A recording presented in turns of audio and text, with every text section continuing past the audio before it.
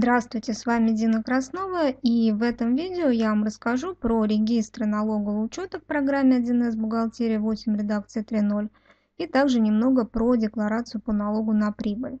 Показывать я буду на примере нашей учебной организации ООО «Плюшка» и нашего курса по налогу на прибыль. Ссылку на курс вы найдете под этим видео.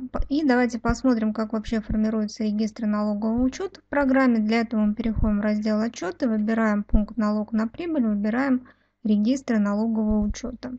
И открываются регистры. Здесь несколько групп. Первая группа – регистры формирования отчетных данных. Из них данные попадают непосредственно в декларацию. Остальные регистры, они вспомогательные и можно просто смотреть по ним различные данные налогового учета. А чтобы сформировать саму декларацию, мы тоже в разделе «Отчеты» переходим в 1С «Отчетность», выбираем «Регламентированные отчеты». У нас открывается рабочее место 1С «Отчетность». И здесь можно создать декларацию по налогу на прибыль. У меня она уже открыта, я ее создала. А, вот так вот выглядит декларация по нашей учебной задаче. А, здесь не все, конечно, разделы, только те, которые заполняются в ходе нашей задачи. То есть это основные разделы, непосредственно сам раздел 1.1 и 0.2 расчет налога и все приложения. То есть приложение 1 доходы от реализации неляционные доходы, приложение 2, приложение 3. То есть это то, что было использовано в нашей задаче. И давайте посмотрим, начнем с приложения 1 к листу 02. А, здесь у нас строка 0.10 выручку от реализации, которая разбивается на выручку от реализации товаров, работ, услуг собственного производства, то есть это продукция, работа, услуги. Строка 0.11 и выручку от реализации покупных товаров. У нас в ходе решения задачи были как товары, так была продукция, которую мы сами производили и затем продавали, и были услуги. И вот здесь вот по строке 0.11 у нас отражаются продукции, отражаются услуги. Можно также посмотреть эти доходы в регистре, то есть вот регистр формирования отчетных данных, доходы от реализации товаров, услуг. А если мы выберем нужный период, у меня здесь период уже выбран, первый квартал. Период мы можем выбирать, нажимая на три точки либо просто здесь прописывать период, нажимаем «Сформировать». И формируется регистр налогового учета за первый квартал. И вот эти вот суммы 1 миллион 121 400 и здесь, и здесь проходят. Из чего состоят эти суммы? А здесь у нас есть покупные товары, то есть покупные товары здесь а, проходит а, реализация продукции в розницу. То есть у нас была реализация продукции в том числе в розницу и проходит вот здесь вот. А дальше товары. Товары, которые мы покупали и перепродавали тоже в розницу. Потом пошли услуги. У нас были услуги. И наше производство. У нас два вида продукции производятся. Пирожные и булочки. И вот они отдельно показываются по номенклатурным группам. А здесь можно убирать то, что не нужно. Вот так вот нажимать на плюсик и сворачивать. Допустим, если вы что-то одно хотите посмотреть. Также можно посмотреть настройки. А здесь можно добавлять, допустим, можно номенклатуру добавить по группировке. И тогда уже будет по номенклатуре. Вот у нас пирожные мы в розницу продавали. Это собственная у нас продукция, мы ее сделали, продали в розницу. Сок апельсинка, торт у нас по задаче это покупные товары. Дальше идут услуги и мы производили, опять же, пирожные, булочки. И это получается оптом. Мы продавали, реализация продукции была. Также можно делать различные отборы. Например, ну, можно по счету делать какому-то. Можно делать непосредственно по номенклатурной группе или номенклатуре.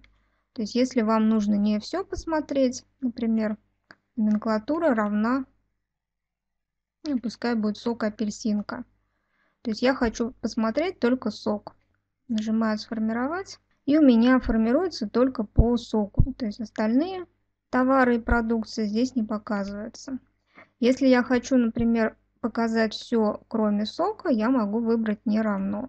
«Не равно сок апельсинка» у меня будет показываться все, кроме сока. Ну, вот тут все показывается, кроме номенклатуры сока апельсинка. Ну, здесь также есть дополнительные поля, можно делать сортировку и можно менять оформление. Настройка по всем регистрам она одинаковая. И здесь можно тоже проверить, откуда попадают эти суммы. Вот получается 99 400 по строке 0.12 покупные товары. И продукции и услуги миллион двадцать два, миллион двадцать две тысячи. То есть тоже совпадает. А дальше здесь у нас идет а, выручка от реализации по операциям, отраженным в приложении 3.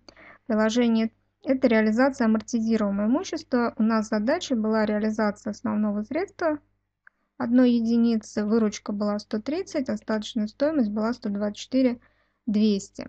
И здесь мы тоже можем посмотреть соответствующий регистр. Называется доходы от реализации прочего имущества. Здесь тоже, если нужно, меняем период, нажимаем «Сформировать». И вот была реализация прочего имущества как раз на 130 тысяч.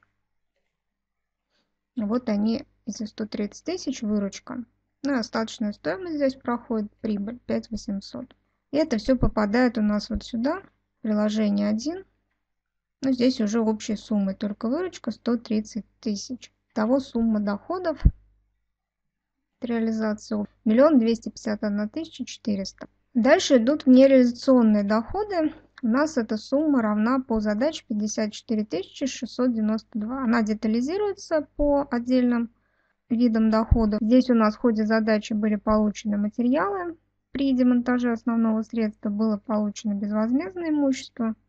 И, в принципе, все остальные здесь уже не детализируются. Можно посмотреть тоже соответствующий регистр нереализационные доходы выбрать период, если нужно, сформировать. И вот э, проходят эти операции 500 рублей. Вот они.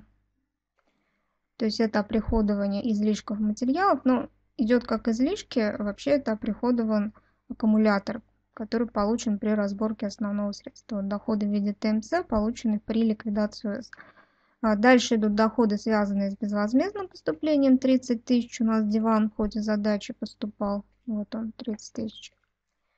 Ну и все остальное это получается проценты за 3 месяца. Проценты к получению, потому что мы размещали в ходе задачи средства на депозитном счете и получали по этому счету проценты. Вот эти проценты за 3 месяца проходят, они здесь тоже в общей сумме находятся. И э, списание дебиторской кредиторской задолженности плюс у нас было на сумму 2000. Ну, здесь списание получается кредиторской задолженности – уже пошло в доход. 54 тысячи. Вот эти суммы совпадают. А дальше переходим к приложению 2. Приложение 2 это уже расходы. А здесь у нас есть прямые расходы, относящиеся к реализованным товарам. Есть прямые расходы по оптовой, мелкооптовой розничной торговле. Ну и здесь вот проходит как раз стоимость реализованных покупных товаров. И дальше идут косвенные расходы. Э, расходы на капитальные вложения, это у нас была амортизационная премия 30%. И здесь мы тоже можем сравнить с регистрами. И здесь у нас получается прямые расходы на 578, 665, если округлить. И вот эти вот две суммы, они как раз и дают нам по строке 0,10 и 0,20. Если их сложить, вот сумма получится. То есть это прямые расходы. А дальше у нас идут косвенные расходы, но здесь их достаточно много. Отдельно выделяется сумма налогов и сборов на 140 тысяч. И здесь тоже можно посмотреть в регистре, вот там амортизационная премия как раз 51 тысяча, 30% э, мы списывали в налоговом учете в ходе нашей задачи, вот она проходит. А далее идут у нас расходы по операциям, отраженным в приложении 3, то есть уже я показывала, это у нас основное средство, которое мы продавали в ходе нашей задачи, и это остаточная стоимость этого основного средства 124 200. И здесь мы тоже можем посмотреть вот этот вот регистр расходы по реализации прочего имущества. Здесь как раз эта сумма будет проходить 124 200 вот по документу передачи ОС. Это остаточная стоимость основного средства, которое было реализовано в ходе нашей задачи. А, дальше идут признанные расходы, сумма амортизации отдельно показывается и внереализационные расходы. Внереализационные расходы тоже есть отдельный регистр, так и называется внереализационные расходы. Тоже выбираем нужный период, сформировать. А здесь тоже достаточно много расходов было. У нас было списание из-за поломки основного средства. Это получается остаточная стоимость этого основного средства. Были отчисления в оценочные резервы. Были проценты, это уже к уплате. Мы брали кредит в ходе решения нашей задачи и уплачивали проценты в течение трех месяцев. Также здесь проходят расходы на услуги банков и был у нас штраф на сумму 100 рублей. И вот итого 229 563 28. Вот здесь округляется, копейки отбрасываются. Тоже вот проценты по кредитам отдельно. 12, вот они 12 123. Расходы на ликвидацию 91 200. Вот эта сумма. Штрафы 100 рублей. И комиссия банка здесь просто отдельно в декларации не показывается. То есть здесь как бы если вы будете складывать, у вас на эту сумму вы не выходите все равно. Здесь можно посмотреть как раз вот в регистре и здесь уже точно все суммируется и должны выйти на общую сумму. Следующий регистр это финансовые результаты от реализации СМА. Период уже правильно. У нас была реализация только основного средства. Вот холодильная камера, значительная амортизация, прибыль 5800. Здесь мы можем сравнить вот с этой частью. Вот она в приложении 3 тоже показывается 5800. То есть это вот все регистры, которые используются при формировании декларации. Мы можем прям построчно сравнить. То есть открыть нужный регистр, открыть декларацию и посмотреть уже более детально, потому что здесь не такая детализация, как в регистрах. В регистрах более детально. Можно посмотреть, откуда берутся суммы. Если что-то непонятно, можно переходить непосредственно в документ, смотреть. Вот, например, счет о розничных продажах. Щелкаю два раза левой клавишей мыши. И уже попадаю в сам документ, могу посмотреть сам документ. Прямо отсюда из регистра.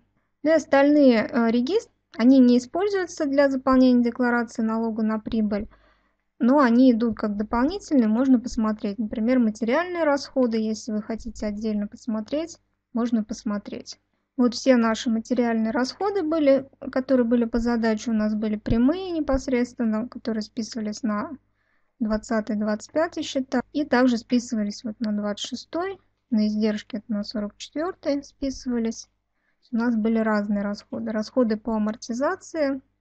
Вот начислялась амортизация Здесь середине начислялось, когда мы передавали.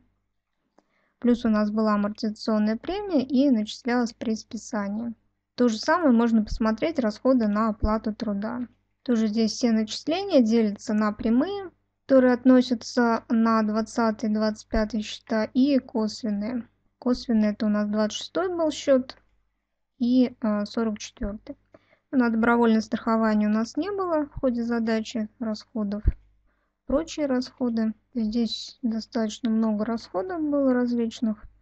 А, следующая группа это регистры состояния единицы налогового учета. Здесь мы можем смотреть тоже различные данные. Например, можно посмотреть стоимость основных средств. То есть здесь у нас получается на начало периода увеличение, уменьшение стоимости, на конец периода по видам основных средств, которые есть на предприятии. Ну, у меня здесь не очень много, их было всего 4 штуки. Конечно, если предприятие большое, много основных средств будет длинный перечень. То же самое информацию об объекте основных средств можно смотреть, а здесь уже на конкретную дату. Например, выбираем шкаф и сформировать. То есть здесь вся информация по конкретному объекту прописывается. Нематериальных у нас не было. Также можно смотреть стоимость материалов, специальную оснастку, стоимость продукции, стоимость товаров на складе. Например, стоимость материалов тоже по видам материалов идет. То есть это все материалы, которые были использованы в нашей задаче по курсу налог на прибыль. Ну и так далее. Стоимость товаров. Вот наши товары. Ну и можно смотреть остальные виды регистров. Также здесь есть отдельные регистры учета хозяйственных операций. Например, можно посмотреть приобретение имущества опять же за первый квартал возьмем, то здесь э, тоже достаточно много операций по видам. Это приобретение было, также можно посмотреть выбытие. Выбытие здесь поменьше было. Выбытие прочее имущество и другие операции. То есть это вот регистры налогового учета, которые, я напомню, находятся в разделе «Отчеты», «Налог на прибыль», «Регистры налогового учета». А я благодарю вас за внимание. С вами была Дина Краснова. Подписывайтесь на мой канал, ставьте палец вверх, если вам было полезно это видео. Нажимайте на колокольчик, чтобы не пропустить новое видео канала. И приглашаю вас на наш новый обновленный курс «Налог на прибыль для бухгалтера». Ссылку на него вы найдете под этим видео. Желаю вам всего самого доброго и до встречи в моих следующих видео.